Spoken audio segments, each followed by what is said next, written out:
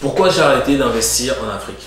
Dans cette vidéo, je vais te dire la vérité. Pourquoi j'ai tout simplement arrêté certains projets que j'avais à l'époque, certains projets d'investissement, certains projets, même certaines idées de business que j'ai développées, que j'ai arrêté par la suite. Dans cette vidéo, je vais te dévoiler la vérité. Je vais te dire pourquoi est-ce que je préfère me concentrer sur autre chose que l'investissement en Afrique? Et je sais que cette vidéo va créer certaines interrogations et même vont aller à l'encontre de ce que beaucoup de personnes de la diaspora pensent. Mais reste bien jusqu'à la fin de cette vidéo car tu sauras peut-être comment est-ce que tu peux aborder les choses autrement d'un point de vue d'entrepreneuriat surtout d'un point de vue d'investissement et d'enrichissement. Mais avant de commencer, je t'invite à t'abonner à cette chaîne YouTube où on est plus de 70 000 entrepreneurs investisseurs et notre but aujourd'hui, c'est de dépasser les 100 000 abonnés. Donc si tu veux vraiment participer à ce mouvement, je t'invite à t'abonner à cette chaîne YouTube dès à présent et surtout d'activer la cloche pour être notifié de toutes nos nouvelles vidéos. Dans cette vidéo, je me retrouve chez moi, donc euh, à Montréal. On n'est pas au centre-ville comme d'habitude, mais voilà, j'ai préféré tourner des vidéos ici pour te partager du coup pourquoi est-ce que ben, j'ai tout simplement décidé d'arrêter d'investir en Afrique.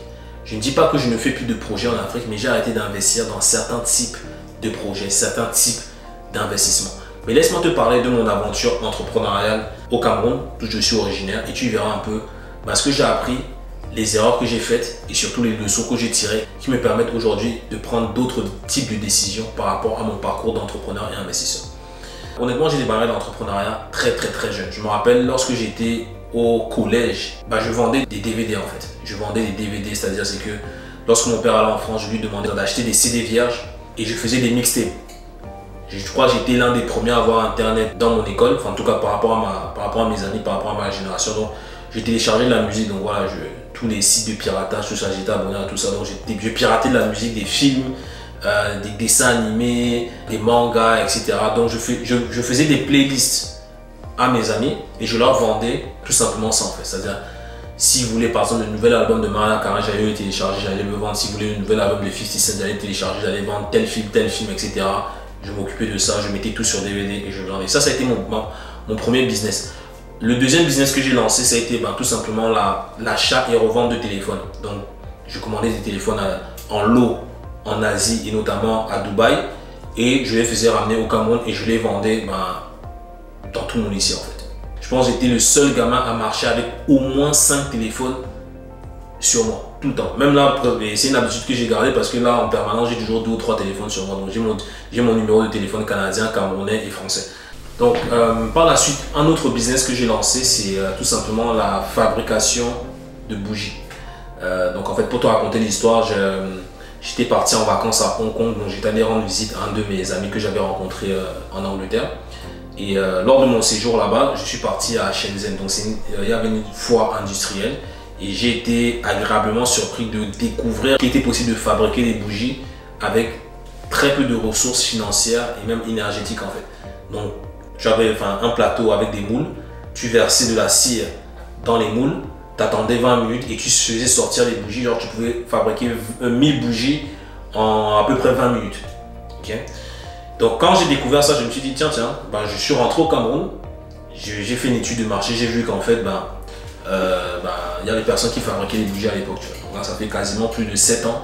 Personne ne fabriquait les bougies. Toutes les bougies étaient importées du Nigeria et de la Chine. Et là, je me suis dit, ok, là, je vais me lancer dessus. Je suis reparti en Chine. J'ai appelé mon meilleur ami qui est ingénieur. Bah, il m'a aidé un peu à concevoir les, machines de fabrication. Donc, j'ai fait la commande de machines. Et là, laisse tomber. Hein.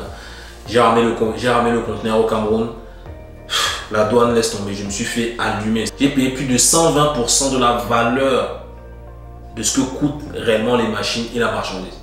Et ça m'a même découragé parce que je me rappelle, j'étais rentré avec l'équivalent de 20 000 euros. Je suis parti dépouillé. Et c'est ça également qui décourage pas mal de personnes qui se lancent euh, ben, en, en, Afrique de manière générale, c'est la corruption. C'est-à-dire c'est que tu es obligé de payer pour débloquer des situations obligé de, voilà, de mettre des, pots de vin, de passer de l'argent pas sous la table, etc. Et ça, ça m'a vraiment découragé, tu vois. Et même cette activité-là, elle était lucrative, hein. mais tu vois, quand je voyais l'énergie dépensée pour, par exemple, récupérer des cartons qui étaient volés, par exemple, par des personnes avec qui je travaillais, tu dis à la fin de la journée, ça te, le temps que tu passes à vouloir récupérer, je ne veux pas dire une, faible somme, mais à vouloir récupérer de l'argent, tu te, tu te retrouves à dire, bah, écoute, la personne n'a qu'à garder ça et toi tu passes à autre chose. Mais ça, ça n'aide pas au développement économique et même au développement humain. Parce que le fait que tu laisses ça comme ça, ça encourage la personne à faire deux fois plus, enfin à vouloir t'escroquer deux fois plus euh, le mois prochain en fait. Donc ça c'est une activité par la suite que ben, j'ai laissé. Et j'ai commencé à entreprendre des projets en immobilier. J'ai acheté des terrains euh, que je commence à diviser pour revendre, etc., etc. Mais je me suis arrêté là. Je me suis arrêté là. Et beaucoup de personnes me disent, mais Florent, pourquoi tu ne te lances pas dans l'agriculture? Pourquoi tu ne te lances pas dans l'élevage? Pourquoi tu ne te lances pas dans l'industrie? Pourquoi tu ne te lances pas dans la construction d'immeubles? Etc. etc. La raison pour laquelle je ne le fais pas, c'est parce que, d'un, pour moi, ce type de business physique, le retour sur l'investissement n'est pas énorme en fait. Et je veux dire, et le coût d'opportunité n'est pas au rendez-vous par rapport, entre guillemets, à mes standards. Qu'est-ce que je veux dire par là? C'est que, tu vois, je vais difficilement aller me lancer dans une industrie pour faire, par exemple, 15-20% de marge. Je vais difficilement aller ouvrir un restaurant pour faire 10% de marge, sans compter les tracasseries que tu vas avoir sur place avec les risques euh, de vol, de d'escroquerie, de, etc., etc., etc. Moi, je suis quelqu'un qui aime beaucoup la tranquillité d'esprit. C'est pour ça que moi, je suis un adepte des investissements. Pourquoi je ne me lance pas également dans l'immobilier haut rendement comme je le fais par exemple euh, ici ou euh, aux États-Unis ou en Europe C'est tout simplement pourquoi c'est que je suis parti d'un constat. Je parlais de ça avec un de mes clients du Cameroun que j'accompagne à investir notamment aux États-Unis. Et on parlait, euh, je parlais en francs CFA. On parlait par exemple, on avait fait le constat que voilà, avec 100 millions de francs CFA, ça fait à peu près 150 000 euros, tu vas difficilement toucher 1 million de francs CFA par mois de loyer. 1 million de francs CFA, ça fait 1500 euros de loyer. Tu vas peut-être toucher quelque chose comme 500 euros de loyer. Tu vois, entre 500, 600, entre, on va dire entre 500 et 700 euros quand tu as bien fait les choses. Allons même plus loin. Demain, tu vas construire un immeuble, par exemple, de je te donne un exemple. Hein. Tu construis un immeuble bien situé, hein, bien situé. Tu vas construire un immeuble de, de peut-être 20 appartements, 10 appartements. Imaginons l'immeuble te coûte 300 millions de francs CFA, ça fait 450 000 euros. Ok? Une fois de plus, le rendement ne sera pas le même. Tu vas difficilement toucher 3 4 500 euros de loyer mensuel avec un investissement de 450 000 euros, en tout cas au Cameroun. Ok? Très difficilement. Parce que là, on parle de rendement autour de 8, 8 10%, tu vois. Au-delà de ça, c'est même pas tant le rendement, moi je parle en termes de liquidité. C'est-à-dire demain, et moi je suis quelqu'un où quand tu es un investisseur, il faut que ton argent soit liquide, tu vois. Il faut que ton argent soit liquide. C'est-à-dire c'est que si tu as un investissement d'un million, ok, par exemple là, le, enfin, c'est vrai que là je suis, euh, là, je suis dans mes, je suis dans mes autres bureaux, mais ce bâtiment là, il vaut à peu près un million. Demain, si je veux m'en débarrasser, je peux me débarrasser de ça en trois semaines.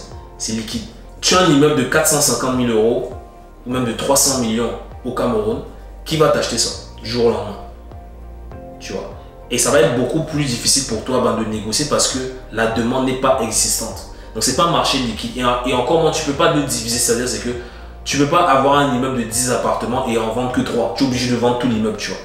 Donc pour moi, c'est c'est, pour moi, ce n'est pas des investissements liquides. Et dans la phase où je suis aujourd'hui, j'ai besoin d'investissements liquides. Pourquoi? Parce que je ne me focalise pas que sur l'Afrique. C'est que moi, comme le nom de ma société l'indique, Global Invest, donc je vois vraiment à l'échelle mondiale. C'est-à-dire j'ai envie d'avoir des drapeaux sur tous les continents euh, qui existent.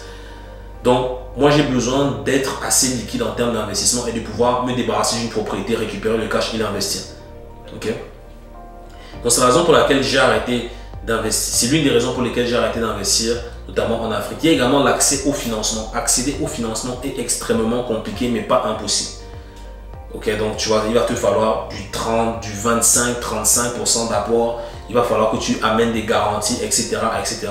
Et au-delà de ça, c'est que toutes les tracasseries administratives, tous les risques, par exemple, d'acheter un terrain et vous êtes 14 dessus, ça c'est également existant, tu vois. Il y a une grosse part de risque par rapport à ça. Moi, je connais beaucoup de personnes qui ont perdu et même des clients, moi, ils ont perdu des dizaines de milliers de dollars pour l'achat de terrain dans le vide finalement. Pourquoi? Parce qu'en fait, le terrain avait déjà été vendu à quelqu'un il y a de cela 7 ans. Tu vois ce que je veux dire?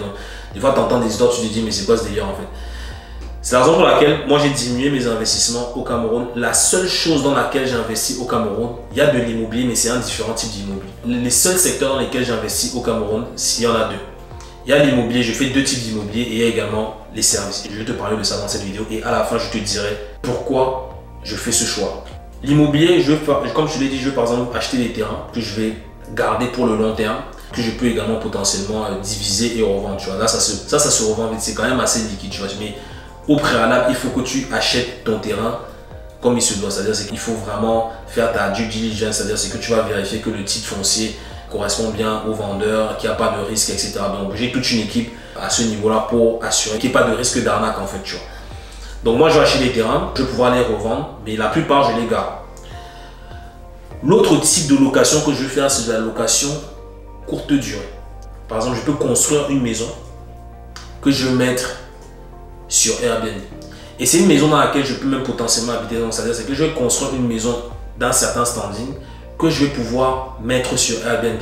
Par contre, c'est moi qui vais pouvoir générer le trafic de clients. C'est-à-dire, c'est moi qui vais pouvoir attirer les clients vers cette maison-là. Pourquoi? Parce qu'en parallèle de cette activité, j'ai créé une agence de marketing que j'utilise aujourd'hui pour faire les vidéos que tu vois là, pour faire toutes les publicités que tu vois là. Mais je peux également l'utiliser pour pouvoir promouvoir des maisons à mettre en, location. C'est quelque chose que je fais également en Indonésie, c'est-à-dire que la villa que j'ai construite en Indonésie, l'idée derrière c'est de pouvoir faire du marketing de cette villa-là pour pouvoir attirer des clients. Et ces villas-là, c'est des villas que je peux utiliser à titre personnel, c'est-à-dire que je peux bien y aller pendant un mois en vacances, j'en profite et le mois suivant, on le remet sur le marché, etc. Je peux utiliser ces villas-là à des fins de marketing pour tourner des vidéos, pour faire de la publicité. Je peux utiliser ces villas-là pour montrer à mes investisseurs que voilà ce qu'on est capable de faire. Je peux utiliser ces villas-là également pour montrer euh, les types d'investissement que je fais. Donc, moi, la façon dont je vois en fait le business par rapport à ma façon de gérer les choses, en fait, c'est qu'il faut que mon investissement immobilier, par exemple, au Cameroun ou dans des zones un peu plus risquées, comme un peu l'Indonésie, etc., ait plusieurs utilités, en fait. C'est-à-dire, c'est que oui, ça me rapporte de l'argent, je peux l'utiliser à titre personnel, donc je peux y habiter dedans, et je peux l'utiliser à des fins de marketing pour promouvoir mes produits, pour promouvoir mes vidéos, pour promouvoir mes services. Et je peux également l'utiliser pour trouver de nouveaux clients auprès de qui je peux vendre des programmes d'investissement pour qu'ils puissent répliquer le même type d'investissement que moi. Je ne sais pas si tu vois ce que je veux dire. Donc c'est un peu comme ça que moi je vois le business en Afrique. Et pourquoi je n'investis pas dans les business physiques, c'est-à-dire industrie, élevage, agriculture, tu vois, tout ce qui se fait. J'ai beaucoup de confrères que je respecte beaucoup également et que j'encourage même dans ce domaine-là, euh, qui promouvoient des offres et des services dans ce domaine-là pourquoi est-ce que je ne le fais pas? Pourquoi? Parce que pour moi, le retour sur investissement n'est pas au rendez-vous. N'est pas au rendez-vous. En tout cas, n'est pas assez au rendez-vous pour moi. C'est la raison pour laquelle je ne fais pas. C'est-à-dire, c'est que. Et moi, je vois beaucoup le coût d'opportunité. Et comme je te dis, je suis quelqu'un de paresseux. C'est-à-dire, c'est que je préfère gagner moins sans me prendre la tête. Parce que le fait de se prendre la tête, sache que ça diminue également ton espérance de vie. Ta tête commence à chauffer. Pourquoi? Parce qu'on t'a volé 200 euros. Euh, si tu t'énerves comme ça tous les deux mois, je pense que tu perds déjà quelques mois de vie en plus, là, rien que pour ça. pour 200 euros, je suis pas prêt à prendre le risque, entre guillemets. Je ferme la parenthèse. Mais pour moi, le retour sur investissement n'est pas au rendez-vous. C'est pas assez liquide. Par contre, où je suis pleinement impliqué, c'est dans le côté éducatif. C'est-à-dire c'est qu'aujourd'hui, je commence de plus en plus à faire des conférences, à faire des communications, à faire des événements et même à travailler avec des personnes, à embaucher des personnes en Afrique, parce que j'ai des, collaborateurs au Cameroun également au Congo, donc je, je travaille avec des personnes en Afrique pour m'aider du coup à changer un peu la façon de voir les choses en fait. La façon de gérer son argent, la façon d'entreprendre, la façon de voir les choses. et le tout passe par l'éducation. Aujourd'hui, en Afrique, il y a pas mal de pays où ben, il y a la corruption, il y a le vol, il y a les ceci, les cela. je ne vais pas te raconter tout ce qu'il y a, je pense que euh, tu vois de quoi je parle. Mais pour moi, le meilleur moyen de, changer cela et surtout de résoudre cela, c'est de passer par l'éducation. C'est-à-dire qu'il faut déjà changer ce qu'il y a dans la tête des gens pour pouvoir prendre de meilleures décisions. C'est pas en allant manifester, en allant crier partout que oui, il faut arrêter de faire ceci, il faut arrêter de faire cela, que les gens vont le faire. Il faut déjà faire en sorte que les personnes prennent conscience de certaines choses pour pouvoir prendre de meilleures décisions. C'est pas un président qui va faire, c'est pas un, un président va difficilement changer toute une population. Et ça dépend également de la manière dont il le fait, parce que beaucoup utilisent la force entre guillemets pour le faire. Alors que tu peux le faire de façon plus travaillée en te focalisant sur la personne en elle pour qu'elle-même prenne conscience que ça c'est bon, ça c'est pas bon. Il y a une certaine prise de conscience à avoir. Je préfère surtout développer des activités dans le digital, apprendre de nouveaux métiers en Afrique, euh, recruter des personnes en Afrique pour pouvoir promouvoir des produits et services, aider les entreprises à pouvoir mieux communiquer, faire connaître davantage leurs entreprises. C'est la raison pour laquelle on a une agence qui permet ben, de promouvoir des produits et services. Maintenant, ces produits et services-là, bien évidemment, il faut que ça rentre dans nos valeurs. C'est-à-dire qu'on ne va pas promouvoir des produits et services, par exemple, on ne va pas promouvoir du tabac ou de l'alcool, sachant qu'on sait que ben, ça diminue l'espérance de vie. On va plus aller vers la santé, l'éducation, l'immobilier. Tu vois, on va promouvoir ce type d'activité-là parce qu'on sait que c'est des biens essentiels et c'est des biens qui aident des milliards pardon, de personnes. Et je ne te le cache pas que le retour sur investissement sur ce type d'activité-là est extrêmement élevé. Donc moi j'aime bien faire du 20-80, c'est-à-dire c'est que je me dis, ok, je me concentre sur 20% des actions qui me rapportent le plus de revenus tout en ayant un impact significatif sur mon marché. Tu vois, je préfère que de faire un immeuble qui va me euh, générer 10% euh, de rentabilité, je préfère lancer une activité par exemple en Afrique qui va me générer 2, 3, 4 fois plus que le montant investi tout en ayant un impact sur des millions de personnes.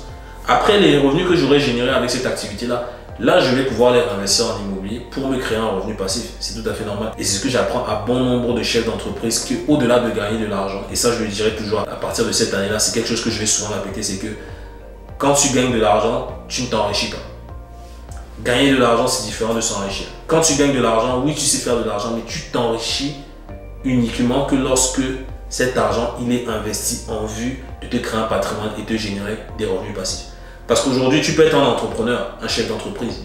Tu génères, je donne un exemple, tu génères 200 000 dollars, euros, 200 millions de, francs CFA l'année. Si tu ne réinvestis pas ton argent, tu ne t'es pas enrichi. Et si demain ton entreprise, pour X, Y raison, fait faillite, on ferme les comptes, on gèle les comptes, ben bravo. Il n'y a rien qui s'est passé entre temps. C'est la raison pour laquelle, moi par exemple, tous mes revenus, surtout en ce moment-là où euh, il y a énormément d'opportunités suite à la pandémie, voilà, euh, l'économie. Euh, dandine un peu, donc il y a pas mal d'opportunités à saisir. C'est que tous les mois, je suis en train d'investir. Je, ne laisse rien sur la table. Je réinvestis tout. Pour me bâtir un complément de revenus, bien évidemment, et aussi me sécuriser derrière. Pour que si demain, mon activité est crash, si ma chaîne YouTube crash, ben, j'ai quand même des revenus derrière. Tu vois. Donc c'est la raison pour laquelle j'ai tout simplement arrêté d'investir en Afrique. Pourquoi? Numéro 1, pas de liquidité. C'est-à-dire pour moi, j'estime que, par exemple, certaines activités ne sont pas liquides. Il faut, dans une économie où on est assez ouvert, il faut pouvoir avoir accès à ces liquidités rapidement. Ok? Euh, Pas de retour sur investissement immédiat. C'est-à-dire, c'est que pas de retour sur investissement immédiat versus coût d'opportunité. C'est-à-dire, c'est que moi, j'estime que voilà, tu peux avoir un rendement, mais si c'est au détriment de ta santé mentale, si c'est au détriment de ta santé physique, moi, ça m'intéresse pas. Ok? Il y a également, comme je te dis, il y a toutes ces problématiques de corruption, etc. La dernière raison pour laquelle je n'investis pas de cette manière au Cameroun et pourquoi j'ai une autre approche, c'est que pour moi, pour changer les choses, il faut passer par le côté éducatif, par l'éducation, le e-learning, l'apprentissage. Aujourd'hui, tu peux le faire à moindre coût. Tu peux avoir accès, accès à des conseils à moindre coût ceux qui promouvoient les conseils, oui, ils gagnent beaucoup de revenus, mais ils aident également des millions de personnes à moindre coût, tout en ayant beaucoup de revenus, qui va leur permettre par la suite de développer plus de projets pour eux, mais également pour les autres. Donc moi, c'est ce chemin que j'emprunte là. Beaucoup de personnes ne le comprennent pas, mais je te parie que, bah, de toute façon, euh, tu verras les résultats d'ici quelques années, on est sur pas mal de projets là. De toute façon, tu entendras parler de moi, quel que soit ton pays. Côte d'Ivoire, Sénégal, Togo, tous les, pays d'Afrique francophone. Sachez qu'on arrive en force, donc restez connectés car il y aura pas mal d'événements mensuels dans vos différents pays. On se donne rendez-vous sur vos écrans très bientôt. Tu as le lien d'inscription au prochain summit. Donc c'est un, atelier dédié aux entrepreneurs, chefs d'entreprise, travailleurs autonomes, tous les professionnels de la vente, du marketing et de la communication pour vous apprendre justement comment avoir un impact beaucoup plus significatif sur votre marché afin de devenir les numéro 1 dans votre industrie. On se retrouve très prochainement. N'hésite pas à partager cette vidéo. Dis-moi ce que tu as pensé de cette vidéo. Tu me lâches un commentaire. On se dit à très vite. Ciao, ciao.